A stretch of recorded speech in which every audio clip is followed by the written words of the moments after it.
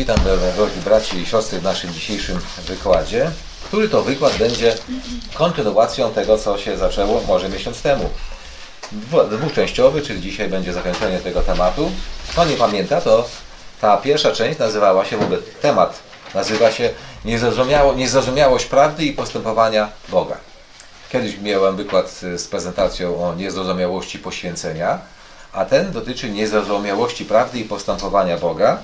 I w części pierwszej omówiliśmy takie dwa główne fragmenty Biblii ze z Nowego Testamentu, objawienia piąty rozdział na temat tego, jak to boski plan był zakryty pod, pięcią, pod siedmioma pieczęciami, jak to długo nie mógł nikt do tych pieczęci się dostać, jak zwyciężył lew z pokolenia Judy i te pieczęci zerwał i objawił to, co było zakryte pod pieczęciami tym, których używał do tego celu. A drugi fragment pochodził ze Starego Testamentu, z Izajasza 6 rozdziału, gdzie Izajasz miał wizję, jak to na tronie siedział Bóg i wokół niego było cztery serafów i te serafy miały dwa razy po, trzy razy po dwa skrzydła, dwoma skrzydłami zasłaniały swoje nogi, dwoma zasłaniały twarz, a na dwóch skrzydłach latały.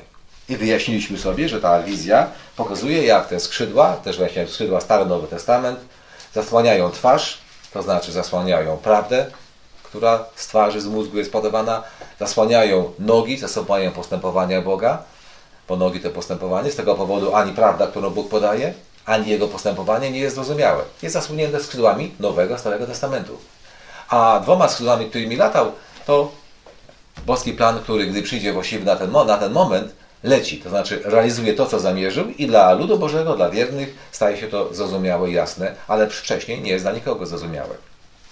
I o tym była część pierwsza. Powiedzieliśmy o te, o te, dwa, te dwa ogólne obrazy omówiliśmy, a w części drugiej będą, będzie co? Będą przykłady zakrytej boskiej twarzy i zakrytych, zakrytych boskich nóg. Jak te skrzydła Starego Nowego Testamentu zakrywają boską prawdę i niby pomimo, że ona jest podana, objawiona, to jest zakryta, i jest zakryta dokładnie dla wszystkich przed właściwym czasem, gdy przychodzi właściwy czas, czyli serafy, te, te, te, te dwa skrzydła, które lecą, uruchamiają się i lud Boży widzi, co się dzieje, ale reszta nadal nic nie widzi, bo nie jest ludem Bożym.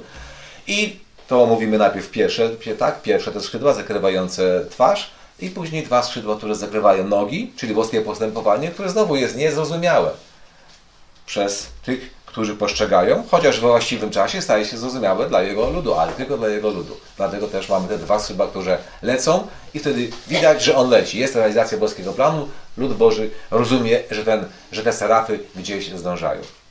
A jeszcze chyba warto też powiedzieć, że same serafy w liczbie czterech, przypomnieć warto, to oczywiście cztery główne boskie zalety charakteru, które są tutaj pokazane i mamy bardzo pięknie pokazane, że boski charakter, pokazany w tych czterech serafach, jest niezrozumiały dla ludzi z powodu zakrycia boskiej prawdy i boskiego postępowania przed wszystkimi, jeśli nie jest, nie jest to prawda na czasie, oraz przed wszystkimi, którzy nie są Jego ludem, nawet wtedy, gdy prawda staje się na czasie. No bo jego, nie, jego, nie Jego ludzie, nie Jego lud, ci, którzy nie są Jego ludem, nie rozumieją Go nigdy. Nawet wtedy, kiedy On już lata i kiedy realizuje to, co powiedział, że robi, powinien to zauważyć, przynajmniej w realizacji powinien zauważyć. Taki przykład, na przykład to przyjście naszego Pana. Zanim nasz Pan się pojawił, nikt, nawet wierni, nawet tak zwani prawdziwi Izraelici nie wiedzieli, jak, jak to będzie wyglądało z tym Mesjaszem. Bo wszystko było zakryte pod różnymi dziwnymi stwierdzeniami Starego Testamentu. Ale gdy przyszedł, przyszedł nasz Pan, to ci, którzy byli Jego, rozpoznali Go. Zobaczyli, że boski plan, czyli serafy, które lecą, ruszyły do lotu, lecą i oni widzą, że Pan się realizuje i się włączyli w, ten, e, w tę realizację. Natomiast cała większość nie zauważyła, że serafy ruszyły, poleciały. I nadal widziały tylko i wyłącznie zakrytą twarz i zakryte postępowanie, a lotu serafów, że charakter przystąpił do realizacji jednego z, z najważniejszych albo najważniejszego swego planu, nie widziały w dalszym ciągu. I dzisiaj pokażę tak, wybrałem tak, oczywiście wiadomo, tu można do, w, tej, w, tej, w tej części, czyli zakryta boska twarz, czyli prawda i boskie postępowanie, każdy może włożyć co by chciał. Więc ja wybrałem parę rzeczy, które mi się wydają takie najbardziej warte podkreślenia, jak one są zakryte w Biblii, jak są niedostrzegane przez większość. Być może czasami niektórzy, może niektórzy z nas coś zauważą z tego, więc będzie parę punktów na temat zakrytej mm, prawdy Boga, czyli skrzydła na twarzy i potem parę punktów na temat zakrytych nóg boskiego postępowania. No to pierwsza, pierwsza, pierwszy punkt z tej zakrytej prawdy Boga, czyli skrzydła na twarzy serafów, serafów zakrywają boską prawdę, to obietnica błogosławieństw dla nasienia potomka Abrahama. Mamy te obietnice zapisane w 1 Mojżeszowej 22. To jest jeden z najbardziej znanych fragmentów Biblii, bo często jest przewoływany, oczywiście przewoływany przez tych, którzy Biblię badają. Dla reszty nie ma większego znaczenia. Pierwsza Mojżeszowa 22, od 16 do 18. Przysiągam na siebie samego, mówi Pan, ponieważ to uczyniłeś i nie wzbraniałeś się ofiarować mi jedynego syna Twego, będę Ci błogosławił obficie. Rozmnożę tak licznie potomstwo Twoje jak gwiazdy na niebie, jak piasek na brzegu morza, a potomstwo Twoje będzie, y, nie, nie, a potomstwo Twoje zdobędzie, zgubiłem zdo, zdobędzie bramę nieprzyjaciół swoich. I w potomstwie Twoim błogosławione będą wszystkie narody ziemi za to, że usłuchałeś głosu mego przez potom, to, ta obietnica przez potomków była, Abrahama była jak rozumiana? Wtedy, gdy Abraham i jego dzieci żyły, jego wnuki czytały to i przypominały sobie, co Bóg powiedział do ich ojca, praojca, dziadka, no rozumiały, że to dotyczą cielesnych dzieci Abrahama. No ja jestem synem, ja jestem wnukiem, no to Bóg tak powiedział do Abrahama, to chyba będziemy z tego korzystali. Czyli skrzydła zakrywały boską twarz przez cały y, wiek patriarchów tak zwany i przez cały wiek żydowski. Nikt dokładnie tego nie rozumiał, a jak próbowali sobie sami tam domyślać się, o co tu może chodzi, to rozumieli to oczywiście dosłownie, cieleśnie i wcale nie było to prawda, co oni rozumieli. Na początku wieku Ewangelii serafy zaczynają latać. Odsłaniają się odnośne prawdy i dla tych, którzy są Jego ludem, dla wiernych, postępowanie Boga, w tym przypadku nie tyle postępowanie, co yy, prawda, którą Bóg podał na temat obietnicy przez Abrahama, staje się zrozumiała. Jak to się stało? Zobaczmy. E, Paweł potwierdza w Nowym Testamencie, że obietnice do Abrahama dotyczyły jego potomka. I to podkreśla, że jednego potomka. Jednego potomka. Zobaczmy Galatów 3,16.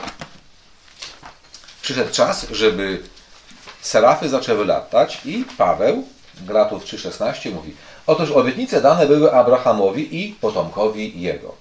Ich używali liczby pojedyncze, ale żeby ktoś przypadkiem nie przegapił, że tam jest liczba pojedyncza, to że sam na to oddzielnie uwagę zwraca. Pismo nie mówi i potomkom, albo nasieniu można tutaj też dać, to, to słowo można przytoczyć, jako o wielu, lecz jako o jednym. I potomkowi Twemu, a tym jest Chrystus. Czyli mamy ciekawą rzecz. Pokazuje, że, podkreśla, że wszystkie obietnice dotyczyły jednego potomka i tym potomkiem jest Chrystus. Czyli co robi innymi słowy Paweł w tym miejscu? Pomija wszystkie wcześniejsze dzieci Abrahama. Chrystus nie był bezpośrednim dzieckiem Abrahama, a przed Chrystusem narodziło się całe mnóstwo dzieci Abrahama i wnuków, i prawnuków, i pra, pra, pra, pra. Nic, nie, Chrystus dopiero, o to tak, tak, tyle. Obietnica powiedziana tak dawno i wszyscy pominięci są z dzieci tylko Chrystus. Potem Paweł wykazuje, że chociaż obietnice te dotyczą jednego nasienia, jednego Chrystusa, bo mówi, że to jest Chrystus, to a Chrystus, no to, no to Chrystus, koniec, no to Jezus Chrystus i koniec, prawda? No to jeden i to całe nasienie i błogosławieństwa, wszystkie on zgarnie dla siebie. To, co opowiedziała do Bóg do Abrahama, to wszystko na Jezusie się skupia i na nim się kończy. On tu wyjaśnia, że je, tak, że dotyczy Chrystusa jednego, ale potem zaraz, w Galatów 3, 26 do 29, czyli ten sam rozdział nieco dalej, wyjaśnia, że tym nasieniem jest nie więcej osób niż tylko jedna osoba, niż jedna sztuka. Od 26 do 29, albowiem wszyscy jesteście synami Bożymi przez wiarę w Jezusa Chrystusa. Bo wszyscy, którzy zostaliście w Chrystusie ochrzczeni, przyoblekliście się w Chrystusa. Nie ma Żyda ani Greka, nie ma niewolnika ani wolnego, nie ma mężczyzny ani kobiety, albowiem wy wszyscy jedno jesteście w Jezusie Chrystusie. No i potem już kładzie kropkę nad i w tym wersecie następnym. A jeśli jesteście Chrystusowi, wtedyście potomkami albo nasieniem Abrahama, dziedzicem według obietnicy. I w ten sposób, tam podkreślając, że to jest jedna osoba, spadkobiercą tych obietnic i dopiero Chrystus, nie wcześniejsi potomkowie Abrahama, potem rozszerza, że wszyscy wy, którzy jesteście tak, przez wiarę w Jezusa Chrystusa ochrzczeni, do Niego weszliście, to jesteście też odbiorcami tej obietnicy, a więc okazuje się, że dotyczy ona bardzo wielkiej liczby osób, a nie tylko e, jednej osoby naszego Pana Jezusa Chrystusa. Tu przy okazji ten wywód Pawła jest e, no, jaki postępowy nawet ze, ze świeckiego punktu widzenia. Nie ma Żyda ani Greka, niewolnika wolnego, mężczyzny, kobiety, albowiem wszyscy jedno jesteście w Jezusie Chrystusie. Jak się na chwilę zastanowimy, to zauważmy, że Ewangelia jako pierwsza, jako pierwsza na świecie dała równe prawa kobietom i mężczyznom. Kiedy kobiety uzyskały prawo wyborcze, chociażby, żeby mogły pójść do głosowania i zagłosować tak jak siadł głosowy. No dziś chyba jak może 100 lat temu? W XIX wieku chyba zaczęły. 20. Nawet w XX wieku Marek dodaje. I jeszcze mało tego, to nawet nie było na zasadzie, że no damy wam, oddamy wam, bo to niesprawiedliwe, że nie macie. Trzeba było o to walczyć i nawet ginęły niektóre. Były jakieś tam sufrażystki, tam ruchy, rozrywały marsze, budówki, tam nawet czasami zbrojne były akty różne. Trzeba było walczyć, bić się o taką oczywistą rzecz, że kobieta ma prawo pójść do głosu, głosować na wyborach, tak? No skoro żyje w kraju, jest obywatelem kraju, nie, nie wolno jej głosować. Ona nie ma, nie musi głosować. Więc, a, a tutaj mamy powiedziane, i, i, y, że nie ma, i jak widzimy potem praktycznie, na przykład jak są zbory, od, było to na początku, to było głosowanie, to za bracia głosowali, a siostry nie. No nie, siostry też głosowały i głosują do dzisiaj. I zobaczymy, jak Ewangelia wyprzedziła cały świat pod względem równości. Do tego trzeba dorzucić jeszcze 1 Koryntiów 10-17, który, no, którym Paweł, że tak powiem, rozwija tą myśl, że wielu, wielu ludzi może stać się częścią tego jednego Chrystusa i być odbiorcą tych błogosławieństw. 1 Koryntiów 10-17, on to potem jeszcze rozwija. Eee, tutaj w tym przypadku robi to na zasadzie chleba, który składa się z wielu ziaren. Ponieważ jest jeden chleb. My ilu nas jest? Stanowimy jedno ciało. Wszyscy bowiem jesteśmy uczestnikami jednego chleba. Ilu nas jest? Nie mówimy, prawda? Wiemy, że malutkie statko to 144 tysiące. I potem jeszcze w Efezów w trzecim rozdziale możemy sobie tam zajrzeć, e, gdzie Paweł nazywa tę sprawę tajemnicą. Efezów 3, 2 do 6. Bo zapewne słyszeliście o darze łaski Bożej, która mi została dana dla waszego dobra, że przez objawienie została mi odsłonięta tajemnica, jak to powyżej krótko opisałem. Czytając to, możecie zrozumieć moje pojmowanie tajemnicy Chrystusowej. Była to tajemnica, była tajemnica, ta skrzydła zakrywały twarz przez cały czas do, do, do Nowego Testamentu. Do, nawet nasz Pan tego nie wyjaśnia, dopiero przez Pawła nasz Pan to wyjaśnił. E, czytając to, możecie zrozumieć moje pojmowanie tajemnicy Chrystusowej, która nie była znana synom ludzkim w dawnych pokoleniach. Skrzydła zakrywały twarz. A teraz została przez, o, przez Ducha objawiona Jego świętym apostołom i prorokom. Mianowicie, że poganie są współdziedzicami i członkami jednego ciała i współuczestnikami obietnicy Chrystusie Jezusie przez Ewangelię. Jeszcze do tych wielu, wielu, wielu dołączył pogan, żeby ktoś nie sądził, że wielu, wielu, wielu, ale tylko Żydów, prawda? Więc już postawił kropkę nad i i wyjaśnił całość. Serafy zaczęły latać, jeśli chodzi o obietnicę, którą Bóg dał Abrahamowi, nieznana, niezrozumiała aż do pierwszego Adwentu, właściwie można powiedzieć aż do czasów Pawła, bo nasz Pan też tego nie wyjaśniał tej, tej, tej, tej, tej błogosławieństw dla jednego Chrystusa, którym jest wielu, wielu i Żydów, i pogan. Tyle jeśli chodzi o ten punkt. Drugi punkt, jaki wybrałem do zakrytej prawdy Boga, czyli skrzydła zakrywają twarz Boga, to zbawienie. Taka prosta rzecz, zbawienie. Większość chrześcijan, i być może i wśród nas niektórzy, źle rozumieją wersety Biblii, które mówią o zbawieniu. No wezmę pierwszy z brzegu. Na razie nic nie powiem o, o co chodzi z tym zbawieniem. Przeczytam pierwszy werset, jaki mam na liście, a mam tutaj Mateusza 18, 11. Mateusza 18, 11 i on mówi tak. Przyszedł bowiem Syn Człowieczy, aby zbawić to, co zginęło. No i wiele wersetów nazywa naszego Pana Zbawicielem, no i będziemy za chwilę, do, dużo ich potem, ja wiem, może z 15 tutaj mam na wykazie, nie wiem czy wszystkie, zależy jak czas będzie się rozwijał, czy ja na 10 się zatrzymam, czy powiem wszystkie. No ale mamy, przyszedł zbawić, żeby to co zginęło, za chwilę będą kolejne inne. E, no może jeszcze tam Łukasz 8.12, zanim zaczniemy cokolwiek wyjaśniać. Łukasz 8.12, może parę najpierw wersetów przeczytam rzeczywiście dla zarysowania. Łukasz 8.12. A tymi na drodze są ci, to fragment przepowieści, prawda, o siewcy. A tymi na drodze są ci, którzy wysłuchali, potem przychodzi diabeł i wybiera słowo serca ich, aby nie uwierzyli i nie byli zbawieni. No i może jeszcze Łukasz 2,11. Łukasz 2,11. To jest e, fragment, jak aniołowie zwiastują narodzenie się naszego Pana. Gdyż dziś, każe Wam się im cieszyć i tak dalej, gdyż dziś narodził się Wam Zbawiciel, tak go nazywają, którym jest Chrystus Pan w mieście Dawidowym. No i na razie wystarczą te trzy wersety. No i jak rozumiemy? To Mateusz 18:11 przyszedł, żeby zbawić to, co zginęło ci posiani na drodze, prawda, nie, nie są zbawiani, bo przychodzi i wyrywa. No i z tego, co słowa, co aniołowie powiedzieli, że narodzi się wam Zbawiciel. Jaki Zbawiciel? Co On robi jako Zbawiciel? Co On zbawia? Chrześcijanie powszechnie to źle. W Biblii, gdy Biblia mówi o Zbawicielu albo o zbawieniu, czy używa, czy czy, czy to będzie czasownik zbawić, czy to będzie rzeczownik zbawienie, czy drugi rzeczownik zbawiciel, ten, który zbawia, to Biblia, tak nie wiem, no, nie robiłem żadnych badań statystycznych, ale na moje oko w 95% przypadków używa terminu zbawić, zbawiciel czy zbawienie w zupełnie innym znaczeniu niż większość ludzi rozumie, być może nawet nie my. Bo w Biblii okazuje się, są dwa różne zbawienia.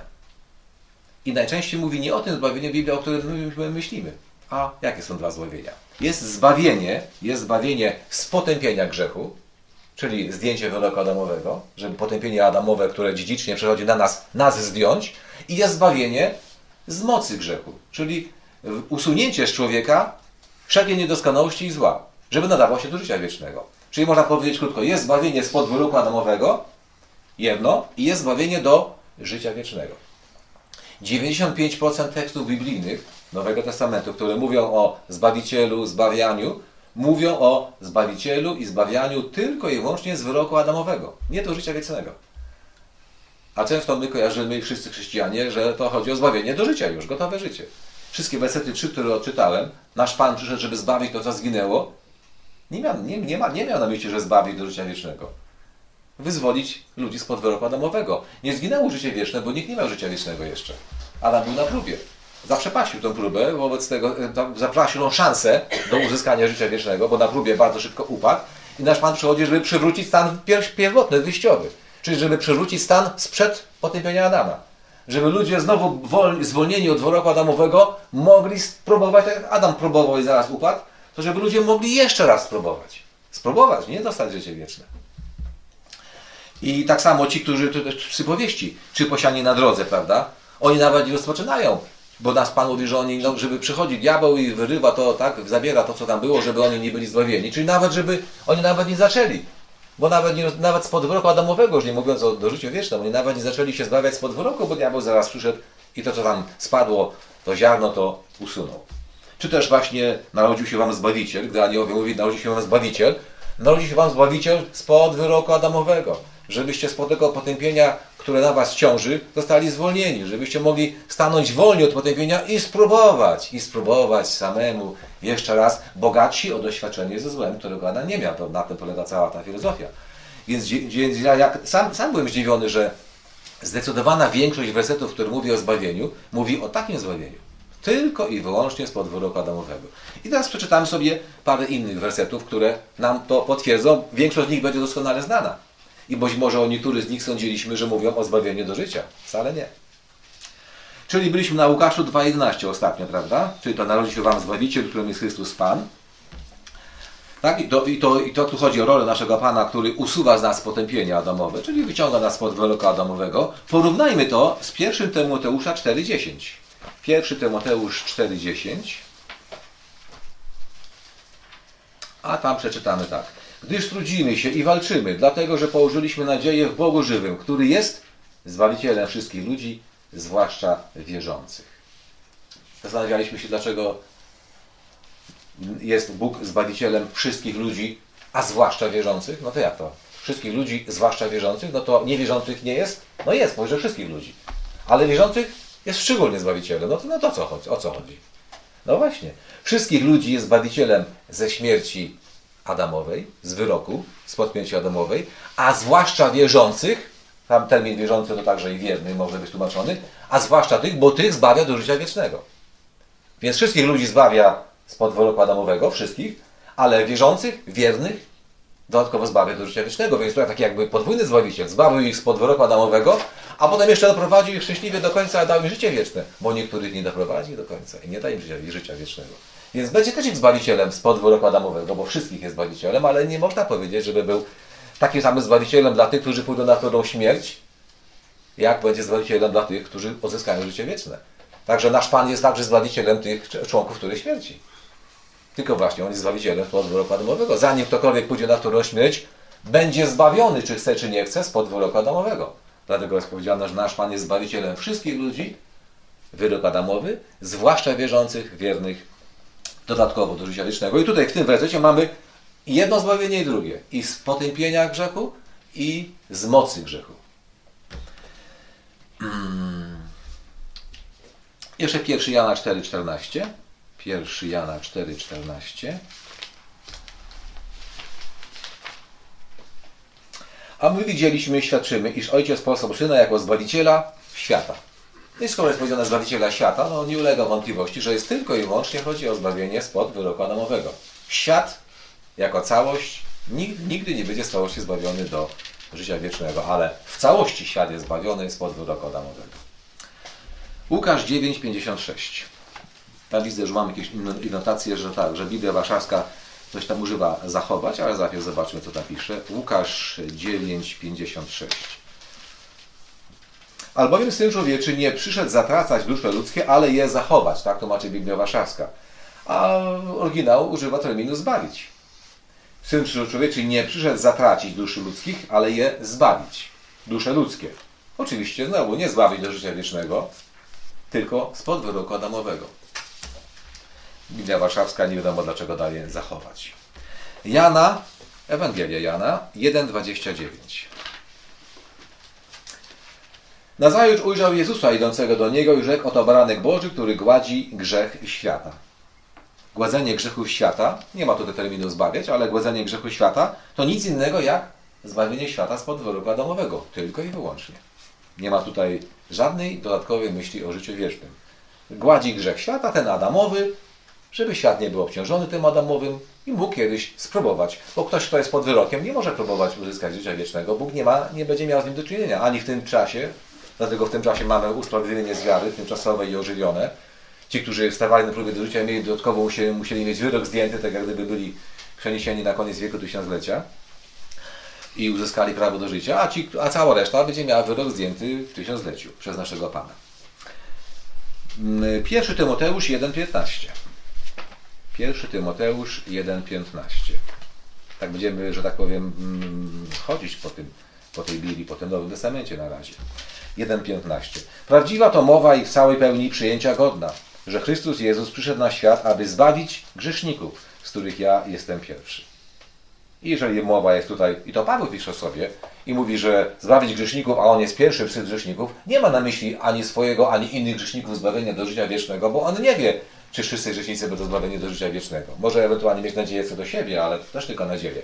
Ale on tutaj mówi, grzeszników zbawić spod wyroku Adamowego, z których ja jestem pierwszy, bo mnie też zbawił spod wyroku Adamowego. Dzięki temu mogę startować i wysokim powołaniu ubiegać się o życie wieczne, nawet w boskiej naturze, ale bez zbawienia mnie spod wyroku Adamowego nawet to nie byłoby możliwe, żebym mógł próbować. Jana 10,9, Ewangelia. Jana 10:9. Ja jestem drzwiami, jeśli kto przeze mnie wejdzie, zbawiony będzie, wejdzie i wyjdzie i pastwisko znajdzie.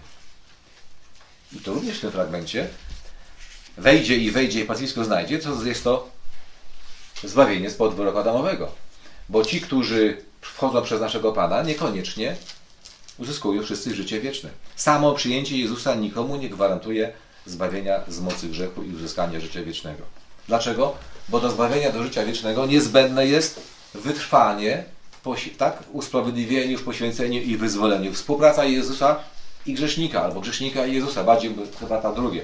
Współpraca grzesznika z Jezusem, bo to od grzesznika zależy, czy ta współpraca będzie się rozwijała i w ogóle będzie, czy jej nie będzie, nie od naszego Pana. Więc współpraca grzesznika z Jezusem jest niezbędna. E, porównajmy to z Mateuszem 10:22. Mateusza 10, 22. I będziecie w nienawiści u wszystkich dla imienia mego, ale kto wytrwa do końca, ten będzie zbawiony. O! Chodzi o zbawienie z botworku Adamowego, czy do życia wiecznego? Kto wytrwa do końca, ten będzie zbawiony. No to właśnie, już jest wierność do końca. Zapowiada, że będziecie w nienawiści u wszystkich, a więc prześladowania dla swoich dzieci, ale jak wytrwacie do końca, wiadomo, o wierności, prawda? Nie chodzi, że wytrwacie, dożyjecie, bo każdy dożyje do swojej śmierci wytrwacie do końca w wierności, to będziecie zbawieni i to pokazuje wyraźnie, że nie wystarczy tylko przyjść do naszego Pana. Przyjdzie, przyjdzie, przyjdzie, przyjdzie, do Niego przyjdziemy, bardzo dobrze, wchodzimy do owczarni i możemy zacząć ubiegać się o życie wieczne, a to jest cały długi proces życia. Koniec zależy od nas, nie wiadomo jaki będzie. Ale zbawieni z podworu Adamowego jesteśmy. Już w momencie, gdy przyjdziemy przez naszego Pana.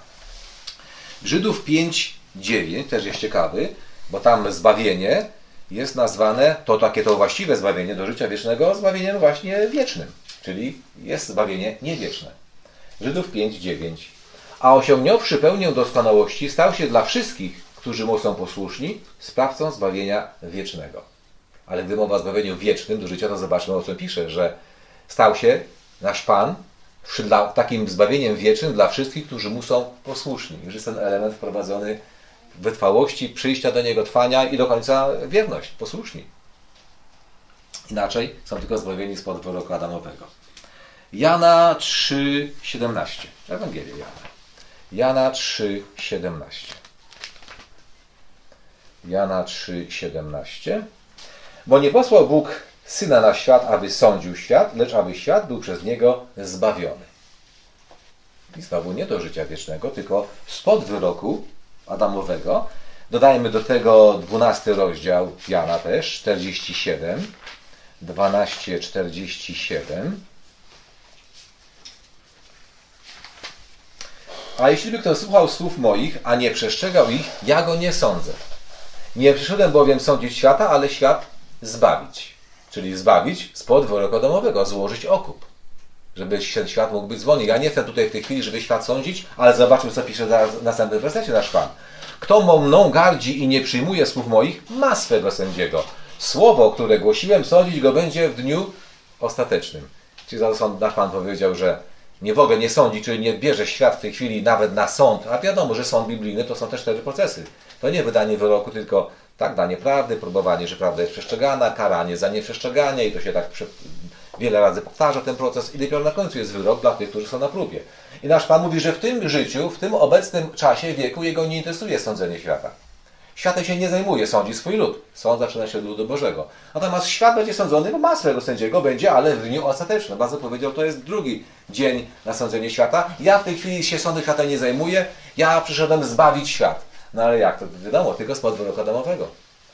Bo gdyby miał na myśli zbawienie świata do życia wiecznego, to po co miałby ten mieć świat, sąd w dniu ostatecznym jakiś kolejny, prawda? Więc wyraźnie odróżnia. Teraz tylko zbawiam świat z wyroku Adamowego, z niczego więcej, bo składam okup i i zajmiemy się nimi w dniu ostatecznym. E, I jeszcze o, o to, bo tu nie będę czytał, ale objawienie 2012 pamiętamy, tam jest mowa, że wstali wszyscy z grobu i byli sądzeni według tego, co zapisane w księgach, prawda, według uczynków ich. No właśnie ten, ten sąd w tym, w tym dniu ostatecznym. Dzieje apostolskie 2,47 jest ciekawy z powodu tłumaczenia tam, przynajmniej dosłownego, pewnie nie będzie to widać, ale zaraz to dosłownie przetłumaczymy.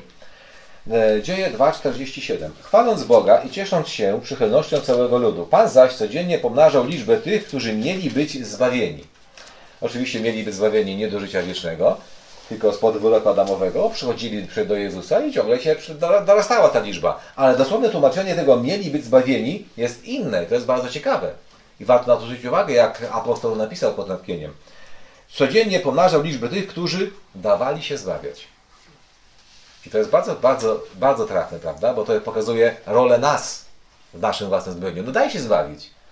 Jezus wyzwala cię spod wyroku, wyroku Adamowego. Y, on ci informuje o twoim grzechu. Da, chce ci dać swoje, swoje usprawiedliwienie. Chce cię zachęcić do poświęcenia. Potem chce się tobą zajmować, żeby cię zbawić do życia wiecznego. No ale musi dać się zbawić. No i znaczy, musi dać się zbawić najpierw na początku. Musisz najpierw uznać, że jesteś grzesznikiem i pójść w stan pokuty. Inaczej nie da się w ogóle zbawić, nawet z tego Adamowego. E, dzieje 16.30. Też jest ciekawe. Jak byłem kiedyś mały, pamiętam, bo byłem kiedyś mały, to zastanawiało mnie to, jak łatwo można być zbawiony. I właśnie ten werset, który teraz przeczytam, mnie tak zastanawia, jak to fajnie, łatwo być zbawionym, a, to, a tutaj mówią, tutaj przyjeżdżają bracia i mówią takie ciężkie wykłady na temat tego, jakie to zbawienie, poświęcenie i tak dalej, wierność do końca. A tutaj pisze takie coś, zawsze mnie zastanawiało. Dzieje 16 rozdział, e, werset 30-31, o tym stróżu więziennym, który, prawda, który, u którego Paweł był podopieczą, prawda, wiemy co się stało, no i potem ten stróż w wyniku tych, tych przeżyć, no uwierzył. No i zobaczmy co pisze, werset 30 i 31, Dzieje apostolskie 16 mam na myśli. I wyprowadziwszy ich na zewnątrz rzekł, panowie, co mam czynić, abym był zbawiony? Ten stróż więzienny pyta. Oni rzekli, uwierz Pana Jezusa, a będziesz zbawiony, ty i dom twój. I tak sobie myślałem, tu przyjeżdżają i opowiadają jakieś rzeczy niestworzone, jakie to trzeba umrzeć dla siebie i świata, a żywy dla Boga, umrzeć. To wtedy dla młodego człowieka brzmiało tak bardzo ostro, umrzeć, umrzeć dla siebie i świata. A, a, a tutaj opowiedział, żeby się e, uwierzył i jak uwierzy, będzie zbawiony nie tylko on, jeszcze cały jego dom. Dużo łatwiejsza sprawa. No ale właśnie, chyba tak zrozumiemy.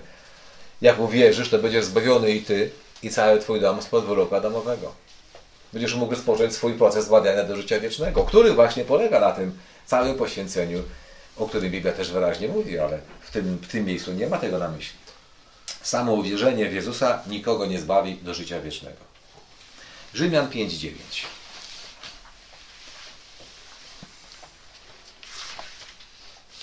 Rzymian 5:9. Tym bardziej więc teraz usprawiedliwieni krwią Jego będziemy przez Niego, tam chyba jest znowu w Biblii Warszawskiej, zachowani od gniewu, a tam w oryginale jest zbawieni od gniewu. To też bardzo dobre stwierdzenie, bo Paweł tutaj właśnie pokazuje, że usprawiedliwienie z wiary jest jakimś zbawieniem. Będąc teraz usprawiedliwieni krwią Jego, będziemy przez Niego zbawieni. Myślę, że dobre, dobre przykłady używają terminu zbawieni. Jest jakiś przykład, który mówi zbawieni w tym miejscu? Czy wszyscy mówią zachowani od gniewu? Tak, zachować od gniewu to tak jakby właśnie, nie, to, no, no to coś, coś, coś ty też jest, no bo się nie będzie Bóg gniewał na nas, tak? Przez Jego Jezusa krew, a tam jest dokładnie zbawieni. To chyba tam coś, coś sotes, nie pamiętam jak to greckie słowo, ale sprawdzałem. Wszędzie jest to słowo zbawieni, zbawieni. To, które jest, no, no, a nie tam zachowani, bo to takie troszeczkę rozmywa myśl, prawda? I zbawieni od gniewu, bo tym gniewem jest nic innego jak wyrok Adamowy. Bóg się pogniewał na Adama za jego grzech, przeklął go, czyli odebrał prawo życia i klątwę na niego rzucił za to, że y, złamał jego prawo. No i ten, ten, ten gniew Boży dotyka wszystkich jego potomków, łącznie z nami. No i będziemy od tego gniewu zbawieni, jeżeli tak, y, będziemy usprawiedliwieni krwią Jego. Też Rzymian 10.13. Troszeczkę do przodu. 10.13. Każdy bowiem, kto wzywa imienia Pańskiego, zbawiony będzie. Też pocie, bardzo pocieszny werset, prawda? Jak łatwo. Wystarczy wzywać imienia Pańskiego i już będę zbawiony do życia wiecznego? No nie, będzie zbawiony. Jak będziesz wzywał, czy będziesz szukał w Jezusie swojego Zbawiciela, będziesz wzywał, dopytywał się o Niego, będziesz zbawiony spod wyroku Adamowego. Zaczniesz swój proces zbawiania do życia wiecznego. Rzymian 11 też, 25 do 27 odnośnie Izraela. A żebyście nie mieli zbyt wysokiego o sobie mniemania, chcę wam, bracia, odsłonić tę tajemnicę. Zatwardziałość po części przyszła na Izrael, aż do czasu, gdy poganie w pełni wejdą. A tak będzie zbawiony, a zbawiony cały Izrael. Zbawiony do czego? Do życia wiecznego? Cały Izrael? Wszyscy Żydzi? Co do sztuki? Niemożliwe, żeby tak co prawda naród wybrany, ale patrząc na pierwszy adwent i ich reakcję na Jezusa, trudno założyć, że za drugim razem to wszyscy 100% będą zbawieni do życia wiecznego, tylko dlatego, że są Żydami. Nie. A tak będzie zbawiony cały Izrael, jak, tak, jak napisano, przyjdzie Sonu Wybawiciel, odwróci bezbożności od Jakuba, a to będzie przymierze moje z nimi, gdy zgładzę grzechy ich. To mamy powiedziane o dwóch rzeczach, których Izrael będzie zbawiony. Bezbożności Jakuba i grzechy ich. Te bezbożności Jakuba to nic innego jak ich grzechy, które robili pod zakonem, ich zaślepienie, jakie zakonem, do tego też, że nie, nie rozpoznali tego Mesjasza, chociaż byli przez zakon przygotowywani, to dodatkowo ściągnęło na nich potępienie, na Żydów jako naród i oni będą z tego zbawieni w całości, będzie dla nich zdjęte odpowiedzialność za zabicie naszego Pana, a później, gdy zgładzi ich grzechy, to ma na myśli grzechy Adamowego. Takie też mieli, tak jak cały rodzaj ludzki. Jedne i drugie. W 100% Izrael będzie przez naszego Pana zbawiony z grzechów, które wykonali, wykonali przez, pod zakonem, przeciwko zakonowi, jak i grzechów Adamowych jako część całej rodziny ludzkiej. I tylko tyle. Cały Izrael nie ma żadnej gwarancji do życia wiecznego, że będzie zbawiony. Będzie tyle będzie zbawionych, ilu ilu, ilu spełni warunki, prawda? Tylu, ile. Mniej więcej, taka, według tych samych zasad co poganie. Może, może ciut więcej, jakby, kiedyś zrobimy, Bóg nam pokaże statystykę, to ci, którzy byli kiedyś Żydami, może na przykład większej liczb, procentowej liczbie będą zbawieni do życia wiecznego niż na przykład narody pogańskie. Może, ale może. Tego nie wiadomo. E, zbliżamy się powoli do końca. Widzę tylko, że jeszcze mam dwa. Efezów 2.8. Efezów 2:8 i co tu pisze? Albowiem łaską zbawieni jesteście przez wiarę, a to nie z was, dar to Boży jest. Łaską jesteście zbawieni. Jesteśmy grzesznikami I jesteśmy łaską zbawieni przez wiarę. Co, do życia wiecznego? Przez wiarę? On tak uwierzył już, no nie, no ma na myśli spod wyroku Adamowego. A to jest łaska, bo jako grzesznik nie, nie zasługujesz na to, żeby ci zdjąć wyrok Adamowy z ciebie. To nie twoja wina, wina prawa ojca Adama, to prawda, no ale ty jesteś jego synem. Twój ojciec grzeszył Adam, przekazał, ściągnął na siebie potępienie, przekazał go na tobie i jesteś tak samo jak ojciec. Należysz do tej rodziny potępionych, pod wyrokiem. Ale z tego wyroku możesz być łaską zbawiony przez wiarę. Przez wiarę możesz z tego wyjść. Ale to nie jest zbawienie do życia wiecznego. To jest zbawienie tylko i wyłącznie spod wyroku Adamowego. I jeszcze pierwszy Tymoteusz 2,4 z, tego, z tej serii. Pierwszy Tymoteusz 2,4, który chce, to znany nam doskonały werset. I też nie dotyczy wcale zbawienia do życia wiecznego. A zdawać by się mogło, że dotyczy, bo pisze tak. Który chce Bóg, aby wszyscy ludzie byli zbawieni i doszli do poznania prawdy. No to już, to już mówię, to chyba na pewno chodzi tu o życie wieczne. Przecież Bóg by chciał, żeby wszyscy byli do życia wiecznego zbawieni. No nie? Dwie rzeczy wskazują, że nie chodzi tutaj o zbawienie do życia wiecznego. Jedna rzecz to taka, to kolejność wymieniona w tym wersecie. Bóg chce, żeby wszyscy byli zbawieni i doszli do poznania prawdy. Taka jest kolejność. Najpierw jesteśmy zbawiani, a potem poznajemy prawdę? Co się nie zgadza. Czyli jeżeli mówi, że zbawieni i doszli do poznania prawdy, to nie może mieć na myśli zbawienia do życia wiecznego, a potem, o, jak jesteś, masz życie wieczne, to teraz powiem Ci, o co tu chodzi. O, tak. A ja to ja nie pokutowałem wcale, Boże. Ty teraz mi mówisz, że pokuta potrzebna, no ja to przygapiłem i nie byłem usprawiedliwiony, ale dobrze, że to jakoś się udało, że już mam życie wieczne. To może ja sobie, będę miał czas, to będę pokutował teraz, obiecuję. Tylko już nie cofaj swego, swojej decyzji. Już to życie wieczne, jak mi dałeś, to mi zachował.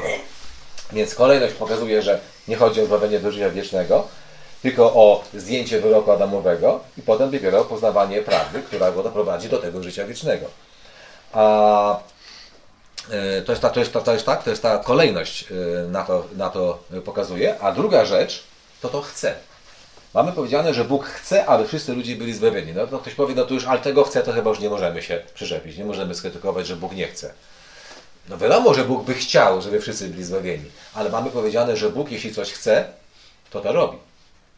Wobec tego, jeżeli by Bóg chciał, żeby wszyscy ludzie byli zbawieni, to tak by się stało i doszli do poznania prawdy.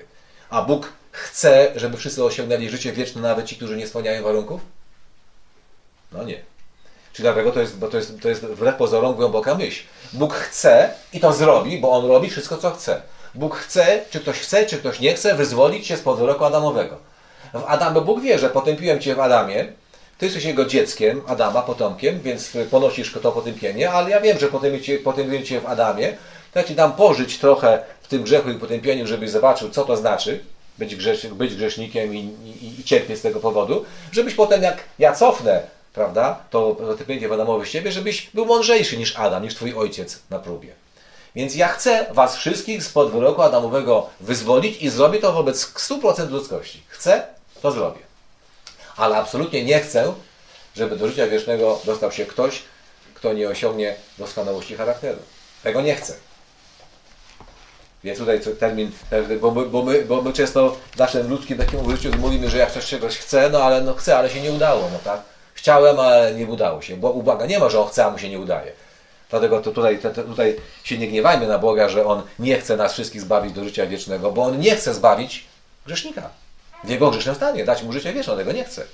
Dlatego on nie mówi, że chce, żeby wszyscy w 100% znaleźli się, bo gdyby tak powiedział, to on robi co chce w 100% i by dał życie wieczne, czy ktoś spełnia warunki, czy nie spełnia. A może. No, nie, nie może. Nie może, tak. I nie chce. I nie chce. No i chyba przyznamy się. Przyznamy, że nie chce. Tak? I słusznie, że Bóg nie chce dać grzesznikowi życia wiecznego. Nie gniewamy się za to, że on tego nie chce. To nie byłby doskonały świat. Innymi słowy, takie zbawienie, tak, takie zbawienie to jest to samo co usprawiedliwienie z wiary. Tymczasowe usprawiedliwienie dokonywane przez krew Jezusa. Jest to drugi krok po pokucie. Krok o życie wieczne. W sumie mamy cztery, jak wiemy, cztery takie kroki. Tak, jeszcze mamy tak, oprócz tego, że jest pokuta, usprawiedliwienie, to mamy poświęcenie i potem jest na końcu wyzwolenie. Takie cztery etapy, przez które przechodzi człowiek. Bóg nie chce nikogo zbawić do życia wiecznego bez spełnienia przez tą jednostkę odpowiednich warunków. Natomiast chce zbawić wszystkich spod wyroku Adamowego, nawet gdyby się to komuś nie podobało. Bo można sobie wyobrazić grzesznika, ja nie chcę, żebyś mi odkupywał, jestem zły za Ciebie, za to dozwolenie na zło, za te cierpienia, które miałem w życiu, ja dziękuję, ja nie chcę. A Bóg nawet takiego spod wyroku Adamowego zbawi. Możesz sobie mówić, co chcesz, I tak ci zdajemy z ciebie wyrok Adamowy. Umrzesz najwyżej potem za swoje własne grzechy, na swoje własne konto. Nie będzie nikt zarzucał mi, że potępiłem cię w Adamie, prawda? I ty po prostu nie mogłeś sobie poradzić w tym Adamie i przepadłeś, życia wiecznego nie uzyskałeś. Potem może twoja rodzina z, z tego obecnego życia będzie pa- sobie myśl rozmyślała przez całe nieskończone wieki, jak przejdą do życia, że, że może jakąś krzywdę ci zrobiłem, może niesprawiedliwie wobec ciebie postąpiłem, więc chcesz czy nie chcesz, spod wyroku Adamowego cię zwolnię. A nuż zmądrzejesz i, sta- i skorzystasz? Nawet jak nie chcesz. Natomiast do życia wiecznego już trzeba e, samemu się o to ubiegać i Bóg nie chce dać wszystkim życia wiecznego, jeżeli nie chce dać wszystkim, którzy spełnią warunki. O, tak można powiedzieć. Biblia mówi głównie o zbawieniu, z tych wszystkich cytatów, które przeczytaliśmy, Biblia głównie mówi o zbawieniu z potępienia Adamowego, spod wyroku Adamowego, które od Edenu ciąży na wszystkich ludziach.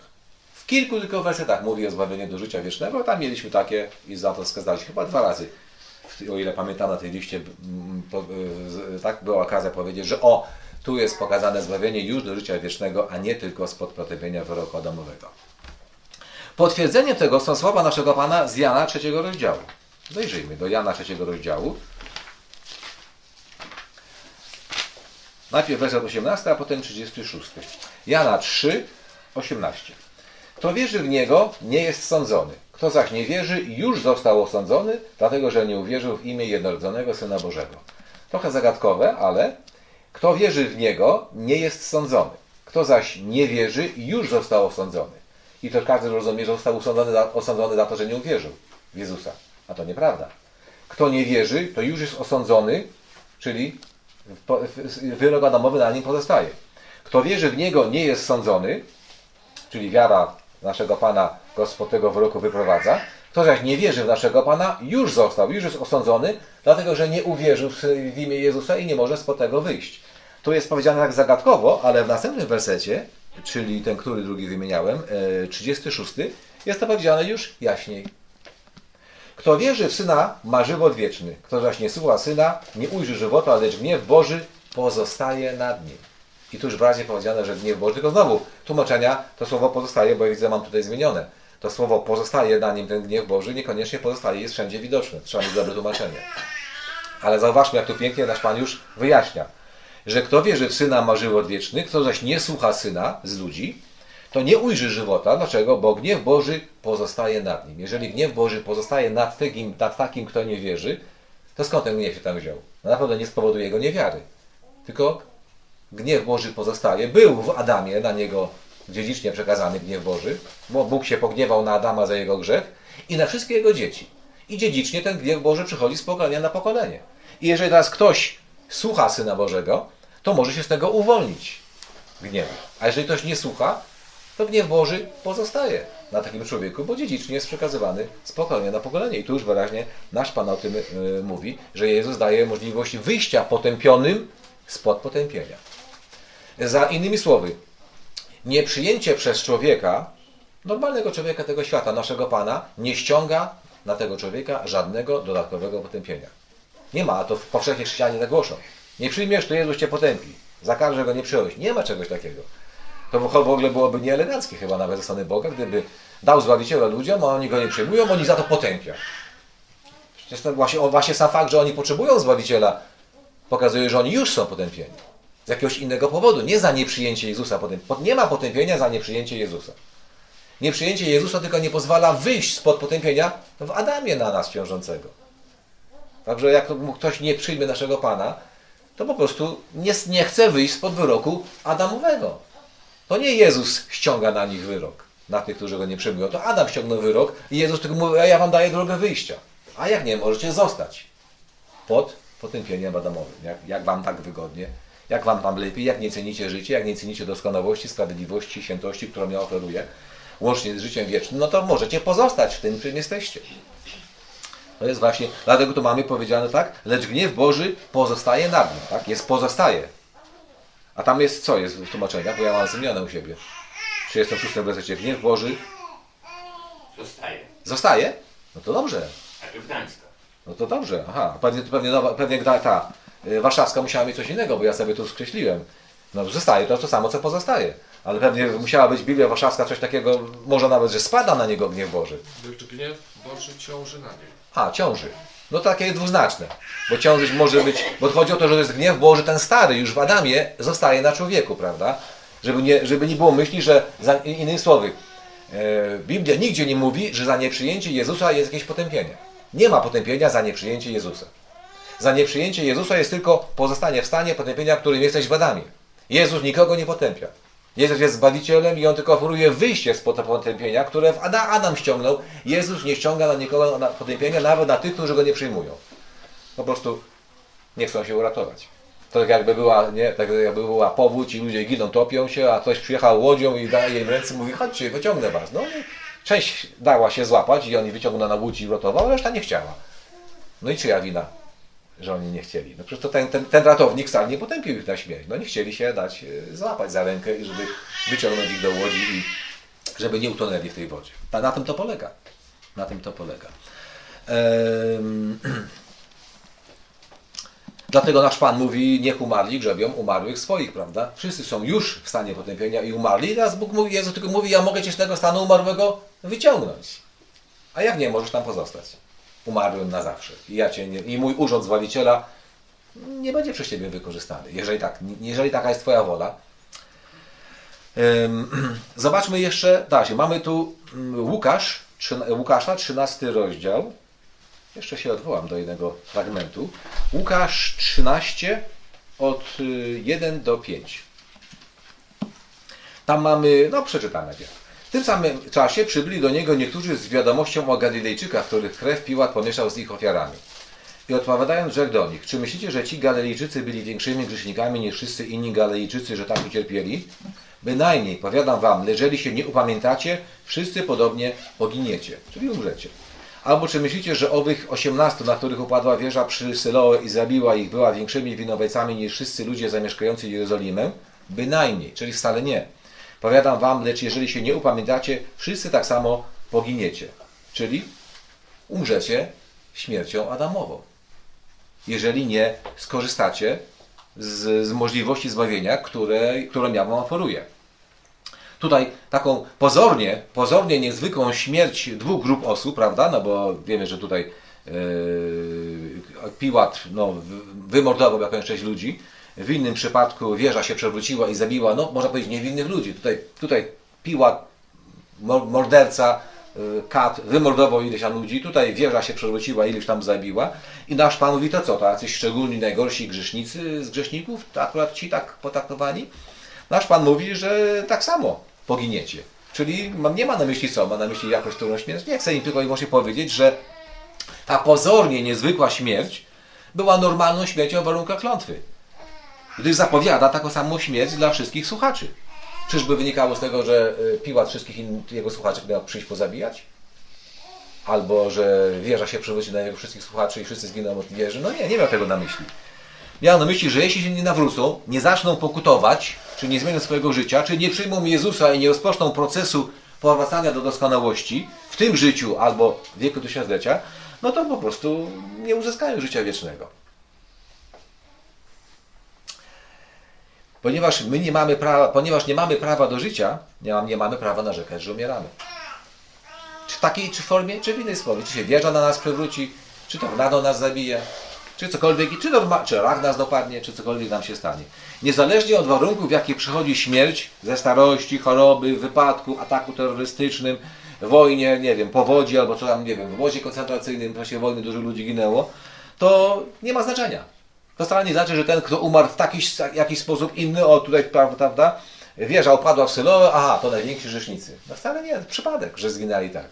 Bo wy wszyscy inni tak samo, jak nie przyjdziecie, jak się nie dacie, tak? Lecz jak się nie upamiętacie, a to jest ta grecka metanoja użyta, czyli nie będziecie pokutować, bo od pokuty zaczyna się powrót do Boga. Jak się nie upamiętacie, to wszyscy tak samo poginiecie. Tak, jak wszyscy tak samo poginiecie, wieża na was wszystkich się przewróci? Albo przyjdzie piła, dla wszystkich wymorduje? No przecież tego nie miał na myśli. Po prostu na myśli, że wasza śmierć, nawet taka normalna, ze starości i tak dalej, nie będzie wcale inną śmiercią od tych, którzy zmarli, bo się wieża na nich przywróciła, których piła wymordował. Co można sądzić? A, jak Bóg dopuścił na nich śmierć, przyszedł piła, by ich wymordował, a wieża się przywróciła, to pewnie byli najgorsi grzesznicy z najgorszych. Nasz Pan mówi, że przypadek taka śmierć czy inna śmierć. Wy też tak samo umrzecie jak tamci, jeśli się nie nawrócicie. To znaczy, że jeżeli nie skorzystacie w obecnym czasie albo wieku tysiąclecia ze z mojego zbawienia, to tak samo, to samo, taka sama spotka was e, koniec. No i jeszcze jeden fragment e, pokrewny, Jana 9 rozdział, Jana 9, 1 do 3. Jana 9, 1 do 3. A przychodząc ujrzał człowieka ślepego od urodzenia. Uczniowie go pytają, mistrzu, kto zgrzeszył, on czy rodzice jego, że się ślepym urodził? A nasz Pan mówi, ani on, ani nie zgrzeszył, ani rodzice jego, lecz aby się na nim objawiły dzieła Boże. Czyli znowu ktoś powie, taki biedak, tak bardzo dotknięty różnymi, no, ślepotą, no i co, jakiś szczególny grzech jego lub rodziców? No, a on powiedział, że ani on sam, ani rodzice jego nie są szczególnie winni tego, tylko żeby na nie objawiły się dzieła Boże. Jakie dzieła Boże miał na myśli? Że teraz Bóg będzie, Jezus będzie mógł zamanifestować na nim swoją moc, będzie mógł potwierdzić swoje mesjaństwo i ten ślepiec przyjmie Jezusa może bardziej będąc ślepym, niż gdyby nie był ślepym, bo jest dotknięty klątwą i bardziej czuje potrzebę jakiejś pomocy. I to człowieka do pokory bardziej prowadzi. Także ludzie, którzy są, generalnie jest zasada, prawda, że ludzie, e, którzy mają w tym życiu gorzej, pod każdym względem, jak mają gorzej, to bardziej są bliżej Boga. Dlatego w Ameryce mamy luźne podejście do, do, do, do religii, do chrześcijaństwa, prawda? Bo zbyt do, duży dobrobyt, chociaż kiedyś było inaczej. Przecież na początku Ameryka zaczynała, to był, można powiedzieć, oaza religijności. Najlepsi, najlepsze światło religijne umysły. I dobrobyt doprowadził do tego, że dzisiaj nawet nikt nie chce rozmawiać w sprawach religijnych, bo nie wypada. Nie wypada po prostu nawet mówić o Bogu. To jest nie, nie, nie, nie w dobrym tonie. A każdy żyje sobie jak chce, no i wiemy jaka jest Ameryka zeświadczona. A tam, gdzie są niż, gorsze warunki życia, tam ta religijność wyższa. Takie są, takie są realia. Jeśli w tym lub przyszłym wieku nie wyjdziemy w proces pokuty przez Jezusa, poginiemy. Umrzemy, przepadniemy na wieki. Gdyż z powodu grzechu Adama wszyscy już jesteśmy pod wyrokiem. Z powodu grzechu Adama wszyscy jesteśmy z boskiego punktu widzenia martwi. Żyjemy tylko, bo mamy, nie mając prawa do życia, tylko tak zwany przywilej życia. Po prostu Bóg daje nam możliwość zakosztowania, no światu ludzkości, zakosztowania e, doświadczenia ze złem. W przypadku ludu Bożego możliwość rozwinięcia się w te klasy ludu Bożego, jakie On wybiera, bo Bóg chce wybrać parę osób. Mówię parę, to jest więcej niż parę, ale mówię parę w kontraście do tych miliardów, których nie wybiera. Więc można powiedzieć, to parę, wybiera parę z miliardów ludzkości, bo tamci są w szkole doświadczenia grzechu. My jesteśmy w szkole Chrystusowej, bo Bóg potrzebuje pewne, pewne grupy osób, przez które będzie mógł światu ludzkości zaoferować restytucję. I potrzebuje takich grup osób, paru, parę osób potrzebuje na fazie duchowej i parę osób potrzebuje na fazie ziemskiej. No i teraz sobie ich wybiera. wybiera. Proces szkoleniowy. Każda, każda, każda osoba, która gdzieś potem chce pracować, najpierw idzie na kurs albo do porządnej szkoły. Nasza porządna szkoła jest w tej chwili w obecnym naszym życiu. Prawie cały boski plan Bo- e, Boga wobec człowieka pozostaje zakryty pod skrzydłami serafów. Na przykład, że zbawienie ludzkości następuje w dwóch różnych okresach, a nie tylko tu i teraz. Większość chrześcijaństwa uważa, że tylko tu i teraz, tylko w tym życiu. A to są dwa różne okresy. Nawet świadkowie Jehowy już głoszą, że to jest tu i teraz. Bo gdy mówią, że ich, jak się nie przyjmie ich punktu widzenia, ich dogmatów, gdy wstąpi się do ich religii, to się przepada. Czyli zbawienie jest tu i teraz. Nawet oni takiego błędu. Grupa, która pochodzi od, z ruchu paruzji, paruzyjnego. Inny, inny punkt zakryty przez wszystkimi prawie chrześcijanami to ponowne narodzenie. Większość ludzi uważa, że ponowne narodzenie ma miejsce tak? Yy, ma miejsce w tym życiu. Ponowne narodzenie. Co nie jest ani logiczne, ani zgodne ze słowami naszego Pana na temat ponownego narodzenia, bo w Jana 3,8, zobaczmy, jest powszechne. Że ponowne narodzenie narodzi się od nowa. Przecież może się spłodził od nowa, prawda? Najpierw, żeby się narodzić, trzeba być spłodzony, trzeba zacząć nowe życie. Najpierw jest akt spłodzenia do nowego życia, potem jest rozwój płodu, a na końcu jest narodzenie. Tak jest u człowieka, prawda? No i to jest tak samo w wymiarze duchowym. Nawet jak nie mamy teraz spłodzenia z ducha, to jest takie rozpoczęcie nowego duchowego życia bez tego spłodzenia z ducha. A to, co mamy napisane w Jana 3,8, gdy nasz Pan powiedział, wiatr wieje dokąd chce i szum jego słyszysz, ale nie wiesz skąd przychodzi, dokąd idzie, tak jest z każdym, kto się narodził z ducha. I pomimo tego, że nasz Pan taki tekst powiedział, że ci, którzy się narodzili z ducha, są to jak wiatr, nie wiesz skąd przychodzi, dokąd idzie, tylko widzisz efekt działania, bo drzewo cię wyrwie, prawda? A nie wiadomo z której strony przyszedł, a drzewa nie ma. Tylko widać, może się tylko domyśleć, jak gniew tą stronę, to idzie pewnie stąd. Ale to domy- domyślamy się po rzeczy fizycznej, prawda? Po, jak ona się ugina pod tym wiatrem, z której strony on naciera ten wiatr. Ale go nie widzimy. A mimo to prawie wszyscy chrześcijanie dzisiaj mówią, że ponowne narodzenie ma miejsce obecnie w tym życiu. Że po prostu człowiek się rodzi na nowo w tym życiu. Teraz możemy tylko rozpocząć duchowe, duchowe życie, a narodzenie następuje dla klas duchowych przy zmartwychwstaniu. Czy to tym dla domalskiego statka, czy do wielkiej kompanii, czy czymkolwiek. My w tej chwili nie mamy takiego spłodzenia z ducha, ale też możemy mówić w cudzysłowie o takim Alantowa, nowym narodzeniu, czy o, no, no, przepraszam, nie narodzeniu, o spłodzeniu, prawda, ale no właśnie, bez, z tym różnicą, że nie jest to spłodzenie z ducha, ale rozpoczynamy nowe duchowe życie i próbujemy rozwijać na charakter, umysł, wola, serce, no trochę inaczej niż stary człowiek by to. I pomimo tego, że nasz Pan powiedział o narodzonych z ducha, że się ich nie widzi i nie słyszy tak jak wiatr, to są podobnie do wiatru, czyli można efekty działania ich widać, ale nie widać ich samych, to i tak wszyscy chrześcijanie mówią o ponownym narodzeniu w tym życiu. No tak są, tak im się podoba, bo to fajnie brzmi pewnie. Albo nowe przymierze.